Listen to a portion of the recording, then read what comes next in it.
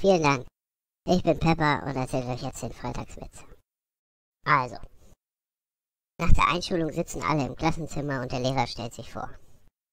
Er sagt, damit ich weiß, wie ihr heißt, rufe ich euch jetzt auf und dann sagt ihr mir euren Namen. Er zeigt auf einen Jungen und sagt, wie heißt du denn? Der Junge sagt, Achim. Da sagt der Lehrer, hm, das heißt doch bestimmt Joachim, oder? Er zeigt auf einen anderen Jungen und sagt, und wie heißt du? Hannes. Dann sagt der Lehrer, ach, das heißt doch bestimmt Johannes. Hm, und wie heißt du? Steht ein Junge auf, überlegt kurz und sagt, Joghurt.